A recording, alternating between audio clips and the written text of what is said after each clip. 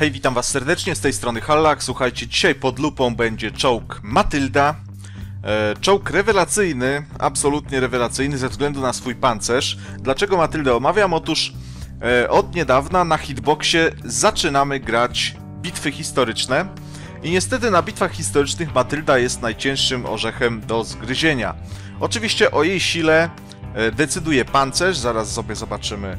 E, Słuchajcie, tak mniej więcej wygląda pancerz Matyldy z przodu, czyli jest praktycznie nie do przebicia dla tych czołgów, e, z którymi ona się na bitwie historycznej spotyka.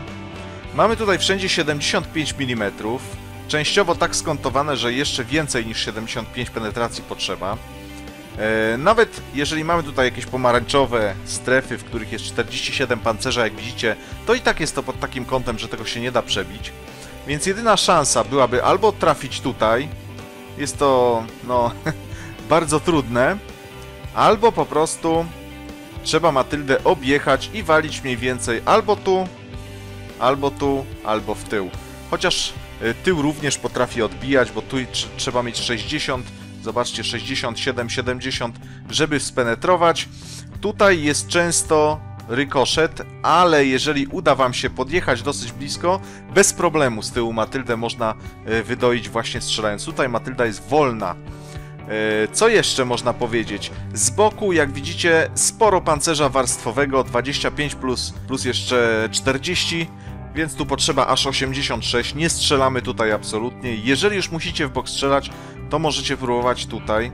Wtedy 53. Czasami zdarza się przebicie, ale również rzadko. No niestety, jest to strasznie, strasznie można powiedzieć, niezbalansowany czołg z jednej strony, choć z drugiej strony takie właśnie były realia historyczne. Tutaj oczywiście jest to konfiguracja maksymalna, ale wróćmy sobie do WOTA. E, ja jak widzicie nie mam tutaj w ogóle załogi, po prostu kiedyś była tania Matylda kupiłem. E, nie gram tym czołgiem, e, chociaż gra nim jest e, bardzo łatwa, zwłaszcza jak dobrze ją wylosuje, to wręcz rewelacyjna. Działo na bitwie historycznej mamy chyba dokładnie to, czyli jest to E, Z jednej strony można powiedzieć małe obrażenia, mała penetracja, chociaż już jest i tak niezła, naprawdę niezła, ale z drugiej strony główną zaletą 0,36 celność, 1,7 czas celowania. Przy szybkostrzelności 28 ten czas celowania 1,7 jest wręcz niezbędny. E, Słuchajcie, jak grają Matyldy na historykach, to chyba każdy wie, zostają w bazie. Praktycznie 80% bitew Matyldy zostają w bazie i nie, niestety wtedy... E, słuchajcie, wczoraj graliśmy chyba ze trzy bitwy historyczne i muszę wam powiedzieć, nie możecie tak robić, że jedziecie wszyscy tam, gdzie ja. Musi być atak z dwóch stron, inaczej nie da się za bardzo ugryźć. Zazwyczaj Niemcy mają przewagę e, ilościową, jeżeli Matylda jest Wczoraj chyba w jednej z bitew mieliśmy 4 albo 5 Matyld i atak z jednej strony jest skazany na niepowodzenie. Matylda się skontuje, chociaż nawet, kurczę, nie musi tego robić. Yy, I po prostu rozwala wszystko, co nadjeżdża. Jedynie inne czołgi mają po 5 złotych pestek. Znaczy nie wiem jak w innych, ale e, akurat Panzer Trójka, którym jeżdżę, ma 5 złotych pestek. Zależy czy na bitwie historycznej. Na bitwie historycznej najlepszy byłby atak jakąkolwiek stroną, jednocześnie zabezpieczenie bazy, prawda? Wtedy Matyldy spokojnie sobie jadą jak taki pancerny walec, e, dojeżdżają gdzieś, zajmują bazę albo niszczą wszystko po drodze. E, Można pokazywać oczywiście wieżę, wtedy już zupełnie nie ma możliwości, żeby e, przebić ją ze zwykłej pestki. Niestety garnek tutaj, czyli wieżyczka obserwacyjna również jest bardzo gruba. No, strasznie, strasznie mocno opancerzony czołg to jest. E, Jeżeli chodzi tutaj o wspomagacze, to moim zdaniem podstawową rzeczą jest oczywiście mechanizm dosyłający. Jeszcze z tego 30 nam się zrobi 33 pewnie. E, Dodatkowo średnią osłonę przeciwodłamkową można by było e, spróbować, ponieważ często widzę, że Matyldy obrywają z haeków. E, No i chyba ulepszony system naprowadzania nie jest aż tak konieczny, można go poświęcić na rzecz czegoś innego, czegokolwiek. E, Może być to wentylacja, może być to oczywiście na przykład lorneta polowa, to jest bardzo dobre, zobaczcie, że zasięg widzenia ma 330 metrów, z lornetą będzie to naprawdę sporo. Przy takim dziale, który jest celne, da to no, całkiem niezłe rezultaty.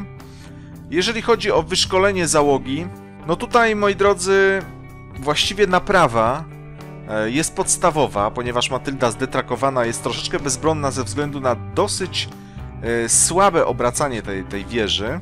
Co jeszcze można powiedzieć? Wszystko to, co zwiększa zasięg widzenia, e, również wszystko to, co poprawia właściwości jezdne, jeżeli zamierzacie się sporo tą Matyldą ruszać.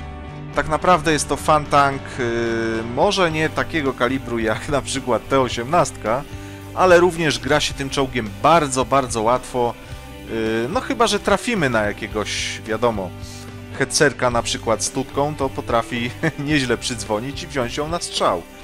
No ale jeżeli nie trafimy, to naprawdę tutaj oczywiście macie podstawową konfigurację, ale działo maksymalne, jeżeli już yy, mówimy, o tutaj jest haubica, to nie, to jest to działo.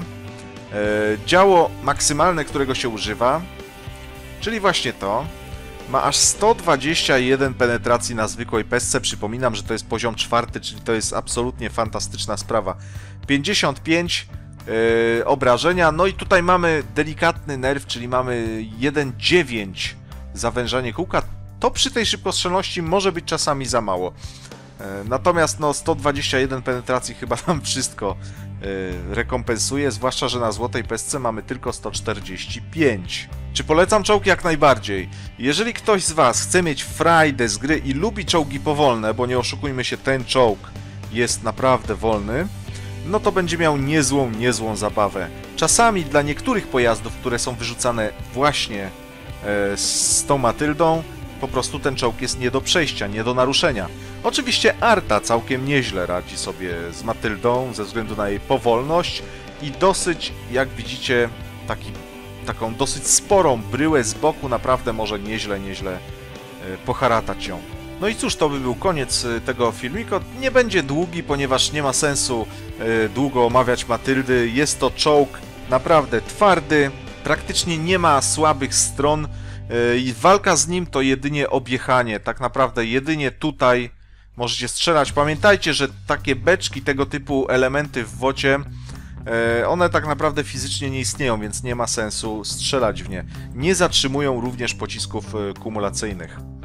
Co jest bardzo ważne, bo na przykład KW czołg e, wali goldowymi pociskami kumulacyjnymi i niektórzy boją się, że strzelając w jakiekolwiek wystające elementy typu zbiorniki, beczki, tak jak tutaj, ten pocisk będzie zatrzymany. Otóż, moi drodzy, nie będzie.